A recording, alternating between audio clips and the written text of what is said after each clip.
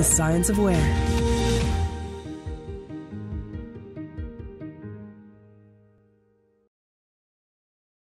Nuestro siguiente ponente es Alejandro Mena, es el subdirector de desarrollo de negocio de Redexis. De Redexis, no sé si conocéis Redexis. Redexis es una empresa que inicialmente se centró en el negocio de la distribución de gas, como digamos un actor bastante eh, novedoso y ha diversificado su actividad a otras áreas muy, muy interesantes. Este es otro de los casos de ejemplo que me pareció importante si podía venir a contarlo, porque explica muy bien una cosa y es Está claro que el hacer un análisis del potencial solar de los tejados de las casas y de las empresas a la hora de, decidir si poner paneles y aprovechar la generación solar, eso es GIS del libro. el algoritmo que lleva todo esto, cualquiera utilizaría un GIS para esto. Pero reutilizar esa capacidad para pasar a la acción, tomar decisiones y movilizar una fuerza de comercial de forma ordenada para obtener con el mínimo esfuerzo el máximo rédito, yo creo que es lo que hace que el GIS realmente cobre un valor interesante dentro de una corporación como Redexis. No, no creo que me haya equivocado. Entonces, yo quiero, yo quiero que os lo cuenten y sobre todo que vais a enseñar algo en vivo también. gracias. Gracias a vosotros. Eh, bueno, Juan ha contado mucho, de hecho, de, cómo queríamos empezar. ¿no? Eh, dentro de esa perímetro que os ha puesto Juan, eh, queríamos poneros un poco más en contexto. Eh, ¿Qué es Redexis? Pues Redexis es una compañía de infraestructuras energéticas, como ha dicho, que en su estrategia de diversificación buscaba entrar en nuevos negocios con el objetivo, eh, pues al final, de, conseguir tener una diferenciación y de conseguir una estrategia de crecimiento ¿no? que nos diera pues eso que nos permitiría ser más sostenibles a medio y largo plazo. Eh, tenemos presencia, está por ahí, en 11 comunidades autónomas, 32 provincias, más de 500 municipios. Y si tenemos que quedarnos con una cifra, pues eh, Redexis distribuye más o menos el 10% del gas natural que se distribuye en este país. Eh, si queremos meternos más en cifras de empleo y de inversión, pues Redexis da empleo a unos 3.000 empleos directos e indirectos. y por poner en cifras, ¿no? pues el año 2018 tuvimos 170 millones de vida y nuestro plan de inversiones a 10 años es eh, de 1.300 millones tanto en el desarrollo de infraestructuras como en desarrollar otros nuevos negocios. ¿no? Eh, y en este contexto pues queríamos explicar por qué Redexis ha decidido meterse en un negocio de, comercialización de, fotovoltaica. Ya os he contado que es por una estrategia de crecimiento y diversificación y porque queríamos validar una serie de hipótesis. ¿no? La primera de las hipótesis era que éramos capaces de ofrecer eh, una solución personalizada a los clientes. ¿no? La comercialización de instalaciones fotovoltaicas siendo un producto nuevo hay mucho desconocimiento y es vital hacer que la gente entienda que esa solución es la suya, no es una solución genérica, sino que estamos desarrollando la, solución perfecta, la instalación perfecta y la que optimiza eh, pues al final el recurso que tiene cada uno en su tejado. Eh, para eso es fundamental tener un configurador. El configurador es diferencial y es una de las hipótesis que teníamos que validar y que queríamos desarrollar. Eh, el canal es otra de las hipótesis. Nosotros hemos elegido un canal door-to-door, que son de vendedores a puerta fría, que como sabéis es un canal que es muy caro de mantener y que si no tiene resultados, pues al final hace insostenible los negocios. La manera que teníamos de validar eso es eh, teniendo un control, eh, una capacidad de controlar la actividad de ese, canal door-to-door para llevarlo a ratios que, fueran rentables. ¿no? Eh, la planificación y el seguimiento de esa actividad es otra de las cosas que queríamos gestionar con la solución que hemos desarrollado.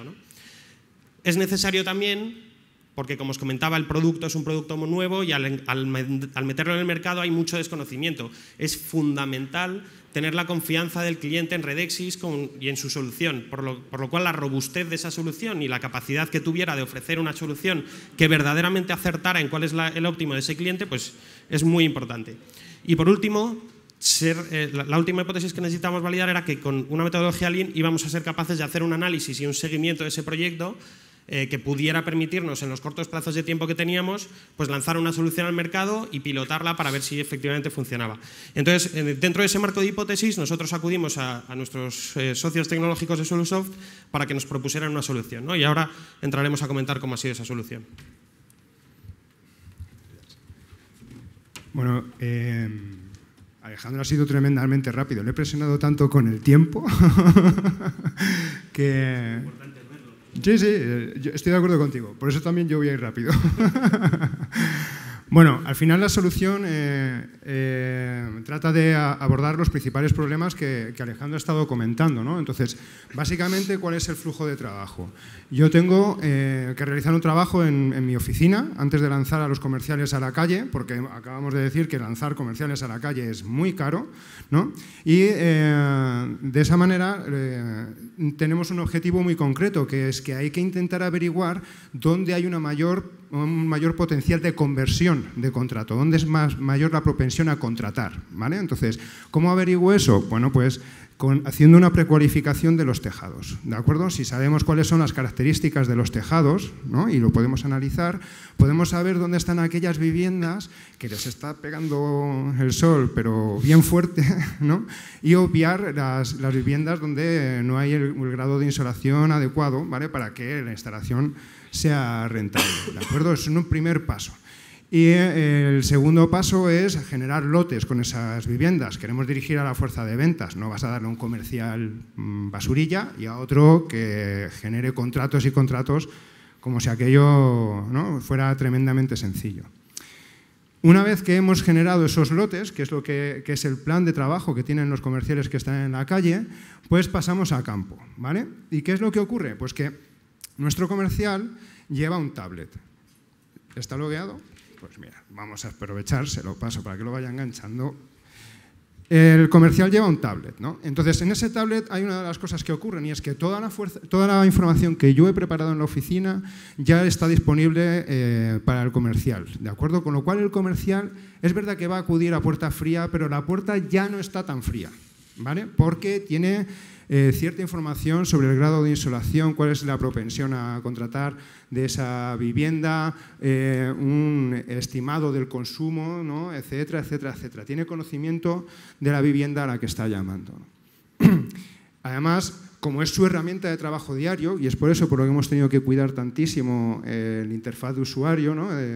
como es su herramienta de trabajo diario, se convierte en un sensor y eso nos permite recoger un montonazo de datos que a su vez nos permiten conocer el negocio. Y finalmente, pues como eso está recogiéndose en tiempo real y pasan los días y los días y los días, pues obviamente llega un momento en el que podemos recoger toda esa información y analizarla. ¿no?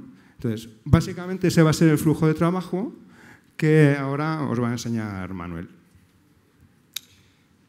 Hola a todos. Hola.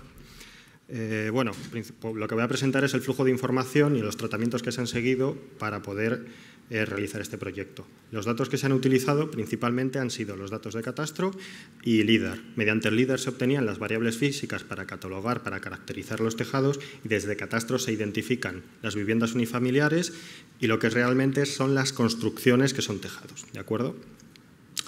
Eh, esto que estamos viendo es la información de catastro. Vemos una capa en un azul clarito, que son las parcelas de catastro, los cuales seleccionamos y obtuvimos únicamente las que son viviendas unifamiliares, que están en un azul un poquito más oscuro, y luego seleccionamos los que son los tejados. Eliminamos otro tipo de construcciones, como pueden ser ventanales, piscinas y demás.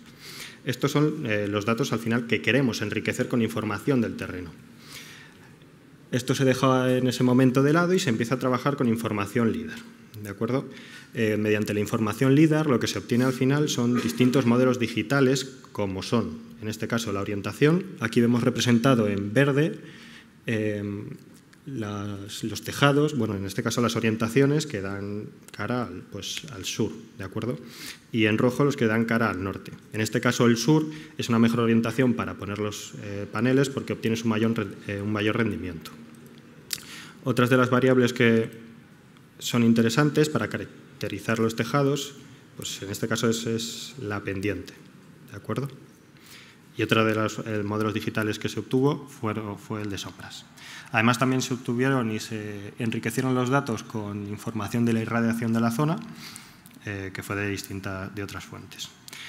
En este punto teníamos clasificados de forma geométrica, por un lado, lo que son los tejados que queríamos atacar, que son los tejados unifamiliares, y por otro lado teníamos las características del terreno, las variables físicas. En ese momento lo que hicimos fue, sobre los datos de catastro, introducir todas esas variables, generando unas macrotablas, a partir de las cuales se empezaron a realizar una serie de selecciones y se fue filtrando esa información. Ahora mismo lo que estamos viendo es la anterior capa de catastro pero en, amarillo, en este caso, se han seleccionado aquellas que tenían las condiciones mínimas para que instalar un panel solar eh, fuese viable y realmente la propensión a contratar fuese medianamente alta. A partir de ahí, con esos datos que se habían generado y con otros datos de negocio, se realizó un score. Ese score eh, nos indica un poquito lo que viene siendo la propensión a contratar. En este caso están representados en verdes aquellas, aquellas construcciones que tienen un tejado cuyas características eh, ofrecen un mejor rendimiento a la hora de instalar paneles solares. ¿vale? Y en rojo, pues otros tejados que no tienen esas características. Con todo este conjunto de datos, lo que se generó fue, fueron los lotes, se lotificó, intentando generar lotes equipotentes para no, para no dar a un comercial pues un, un lote que fuese mucho mejor que otro. No queremos pues, crear ese tipo de diferencias en los comerciales. Y toda esta información, al final, lo que se hizo fue eh, pues guardarlo en una base de datos que se pudiera acceder desde, desde remoto y para que, los, para que los usuarios, para en este caso los comerciales, pues, pudieran acceder a su información. Vamos a Mientras lo carga Manuel, eh, imaginad la diferencia de ir, siendo un comercial, a puerta fría, ir paseando por la calle, simplemente tocando puertas, intentando ver si la gente tiene interés, pero sin saber muy bien qué le vas a poder ofrecer, de ofrecerle ya directamente eh, un estudio casi personalizado en el que sabes si para ese cliente en concreto, ese chalet y no el vecino, eh, tiene potencial de hacer esa instalación y cómo de rentable va a ser. Pues es muy distinto, sobre todo desde, para animar al propio comercial que va con una mentalidad totalmente distinta, como para mejorar el éxito comercial y, optimizarlo. ¿no? A ver si se puede ver la tablet. Vale, ahora lo que vamos a ver es la interfaz de la aplicación Está habiendo problemas de conexión. De acuerdo. Vale, esta es la interfaz que vería el usuario, el comercial, ¿de acuerdo? Un comercial tiene asignado una cantidad de lotes. En este caso tenemos, estamos en la cuenta de un comercial que tiene asignado unos lotes y cada uno de los lotes pues tiene una serie de viviendas. Vamos a simular que somos el comercial y vamos a ir a esta casa. Lo primero que le aparece al comercial es esa caracterización, ¿de acuerdo? Tiene el número de tejados, orientación, pues lo que hemos estado hablando. Vamos a simular que tocamos en la puerta y que nos abren. Lo que nos aparece ahora es una serie de preguntas que habría que realizar, en este caso, al cliente, al posible cliente, donde podremos, por ejemplo, eh, introducir datos de facturas para poder hacer pues, una configuración eh, más óptima, más detallada, y si no se dispone, si no se dispone de, de ella, pues bueno, se puede introducir un gasto estimado. Al final, con la información del, terreno, por así decirlo, que podría haber sido modificada por el, por el comercial, si viese, por ejemplo, que la orientación era la adecuada, la podía haber modificado en los pasos anteriores, lo que se realiza es una optimización, ¿de acuerdo? Dependiendo del espacio que tenga la construcción, dependiendo de la orientación, te va a generar, por ejemplo, un número de paneles óptimo. Y en base a eso lo que se va a intentar generar es un, ahorro eh, mayor, ¿de acuerdo? Esto es lo que se iría viendo, todo esto lo podría ver el cliente y al final se podría ver el resumen en un PDF, ¿de acuerdo? Donde podría ver todos los, todas las estadísticas que hemos estado viendo, así como, como los datos de la instalación. Y de esta forma cubriríamos el, ciclo comercial. Como, como, acabáis de ver, ¿no? Eh, al final Haciendo el resumen, tenemos todos los datos físicos de un tejado para eliminar aquellos tejados que sabemos que no van a contratar eh, energía solar. Se aplican otra serie de reglas de negocio para saber exactamente cuáles son los, los interesantes y dirigimos la fuerza comercial con, con una herramienta que permite generar un diálogo con el, con el cliente. ¿no? Es una herramienta que asiste al comercial en esa labor y que a la vez está reforzando la imagen de marca de, Redexis. ¿no? Entonces, con ese trabajo diario, pues al final tendríamos toda la parte de análisis de información, que esa no la vamos a enseñar. eso tendríamos que matarla, efectivamente, a todos y no, no está bien. No, eh, y el diálogo, que es lo que comentaba Sergio, es un diálogo finalista, en el que en la primera conversación con el cliente, si el cliente quiere, ya le podemos dar, entregar una oferta, que es lo que os he enseñado a manos desde la tablet, un PDF se genera y se le puede enviar por correo. ¿no? Eso cambia radicalmente la manera de, funcionar, la manera de trabajar. No podemos contar cifras, pero sí que podemos hablar un poco de los, de los éxitos y los aprendizajes que hemos obtenido en este proyecto. ¿no? Los éxitos eh, es que usando esa metodología Lean esa metodología Lean y esa metodología Scrum, pues hemos conseguido tener un MVP en fecha del producto, teníamos solo tres meses para desarrollarlo eh, y, hemos conseguido llegar a, tenerlo. Eh, evidentemente algunas cosas han salido, otras han entrado, pero, pero ha sido un éxito en ese, en ese aspecto. Hemos validado las hipótesis que os poníamos al principio y somos capaces de entender cómo el canal eh, puede funcionar, puede no funcionar, qué éxito tiene, cómo de, bien es para él y qué valor le aporta al canal, no solo al cliente, sino también al canal el ir con esta herramienta en, la, mano. Eh, y hemos obtenido un conocimiento de negocio que de otra manera no hubiéramos tenido. Al final, el comercial va con una tablet que es un sensor, es una suerte de sensor de, que, capta pues desde cómo él se va moviendo, cómo tiene capacidades comerciales, qué éxito tiene y el feedback del cliente. Si, está, si, tiene reglas que pues en una zona funciona muy bien, en otra zona no ha funcionado, por qué puede ser y nos permite luego tener toda esa información para analizarla y ver qué, por dónde podemos ir con el negocio. ¿no? Eh, y el aprendizaje, más allá del éxito, el aprendizaje para nosotros eh, también ha sido un poco más cualitativo, ¿no? y es la diferencia entre contar con un desarrollador de soluciones o contar con un socio tecnológico. Para nosotros Solusoft es un socio tecnológico que no simplemente desarrolla lo que nosotros le pedimos, sino que se involucra y es capaz de, tener un conocimiento del negocio complementario al nuestro, eh, nos da otras visiones, eh, además es capaz de ayudarnos con la gestión del proyecto y, llevarlo junto con nosotros y acompañarnos en ese, en ese, camino y además que conoce profundamente la tecnología que nosotros no tenemos esas capacidades en, Redexis dentro de la empresa. ¿no? Entonces, para nosotros eso nos ha permitido no desarrollar una solución, sino establecer una base tecnológica que nos permita crecer adelante en el, en el negocio. ¿no? Eh, y de hecho eso es lo que estamos haciendo. Los siguientes pasos para nosotros es que en 2020 vamos a, es, el año del despliegue del negocio fotovoltaico dentro de Redexis. Vamos a lanzar eh, todo esto ya con, con, con todo el, fuego que requiere. Vamos a intentar cumplir los objetivos que nos ha puesto el Consejo para poder llegar a esa diversificación que os contaba al principio. Y en 2020, pues eh, nuestro objetivo al final, no, por no poner en cifras, pero nuestra intención es obtener un 15 o un 20% de la cuota del mercado de todas las instalaciones fotovoltaicas que se desplieguen en este país. ¿no? y todo eso lo estamos consiguiendo gracias a la, a la, base tecnológica, a la plataforma que hemos desarrollado junto con ellos. Y no mucho más. Si tenéis alguna pregunta, algo, una cuestión.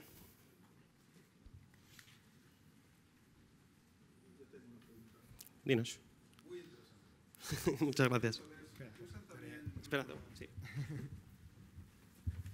¿Usan también datos uh, de la capacidad de la red eléctrica en, esto? Para ver si hay capacidad donde quieren uh, instalar solar. Pues no aún, pero sí que estamos dentro de la fase de, expansión que estamos haciendo de esta solución, que al final estaba propuesta para, cumplir un objetivo concreto, que es el de pilotaje y comprensión. Eh, dentro del plan de despliegue tenemos intención de incorporar un montón de fuentes públicas y de fuentes eh, que nos va a permitir afinar más, pues desde fuentes del consumo, eh, renta, que el INE ha empezado a publicar hace no, mucho información de renta a nivel más capilar, pues vamos a intentar ir desarrollando todo esto dentro de un modelo eh, que no ya solo sea un modelo puramente del cálculo, sino que nos permita meter pues, inteligencia artificial o cosas así y nos permita, como dices tú, con la capacidad de red eléctrica si hay en una zona, pues descartar, oye, pues en esta zona no se puede hacer instalaciones ni pequeñas, ni medianas, ni grandes. Pero sí, es uno de los, uno de los objetivos que tenemos. Eh, la pregunta es, ¿estáis también eh, dentro de ese target de clientes, eh, estáis también analizando la posibilidad de, atacar a prosumidores con todo el tema del excedente de capacidad, volver a inyectarlo? Sí, de hecho, estas soluciones para chalets unifamiliares, que al final con la nueva regulación se permite la, la, compensación de excedentes simplificada, que se llama, que es que te paguen por la energía que generas y no consumes. Y dentro de los cálculos que se generan con la tablet ya valorizamos esto, aunque la regulación todavía no esté 100% lanzada y afectada, pero sí que nosotros eh, hacemos una valorización de cuánto sería lo que se pagaría a esta persona por el vertido y lo metemos dentro de su cálculo económico. Además que incorporamos información de, incorporaremos información de subvenciones, bonificaciones, que también es un punto muy importante para la toma de decisión del cliente final. ¿no?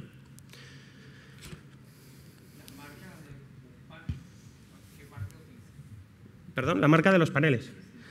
Pues eh, es una de esas cosas que Pues a ver, realmente trabajamos con un abanico de proveedores. ¿no? Nosotros tenemos varios desde varios distribuidores de material y varios fabricantes que nos permiten en cada momento escoger el panel óptimo para cada persona. Realmente no hay mucha diferencia entre los paneles, es mucho más la diferencia que hay en el inversor. El inversor es el, aparato que hay en una instalación que transforma la corriente continua que generan los paneles a corriente alterna, que es la que puedes usar en tu casa. Ahí esa es la pieza más clave, el cerebro de la instalación es ese inversor y ahí sí que tenemos varias alternativas que depende de la necesidad que tenga cada cliente, eh, usamos uno u otro. En cuanto a paneles, al final tenemos dos o tres marcas que son las que utilizamos por criterios de stock, de precio y no hay muchísima diferenciación. Trabajamos con Trina Solar, con Jingli, con, hemos llegado a plantear LGs, LG es como la, marca súper diferencial porque es cara, pero tiene tecnologías muy distintas que permiten optimizar más, pero no a todo el mundo le viene bien. También ofrecíamos eh, inicialmente instalación de, baterías. Con la compensación de excedentes, la verdad es que los números para un cliente residencial de la instalación de baterías no tienen demasiado sentido. puede ser que alguien las necesite o las quiera, pues desde para aislarse directamente de la red o cosas así, pero en general la instalación de baterías, pese a que nosotros la ofrecemos y la tenemos dentro de nuestra solución, no es algo que, la gente nos esté cogiendo.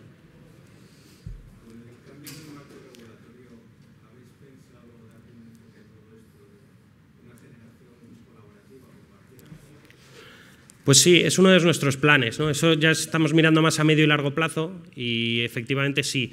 De hecho, eh, no, no, entrar mucho en detalle, pero en 2020 eh, una de las cosas que estamos haciendo es abrir nuestro abanico de canal. no solo vamos a vender esto a través de, vendedores a puerta fría, sino que vamos a hacer una estrategia de marca nativa digital en el que vamos a entrar mucho más en esos, en esos mundos. Una de las cosas que queremos eh, explorar, porque todavía no está muy claro cómo va a poder ser, es esta parte de economía colaborativa donde a lo mejor se puedan hacer que uno genere y le ceda energía generada al vecino o a su primo que vive a 500 kilómetros todo eso es una cosa que hay que entender cómo está el mercado y qué acogida va a tener para decidir si vamos por esa, eh, por esa vía de desarrollar una solución en ese sentido. Y también habrá que ver cómo el marco regulatorio nos lo va favoreciendo o limitando, que en el pasado hemos visto cómo eh, solía haber más limitación que, favorecerlo. Si nadie tiene más, Juan. Estarás por aquí todavía un rato, ¿no? Sí. Muchísimas gracias, Alejandro. Bueno, gracias a vosotros. The Science of Where.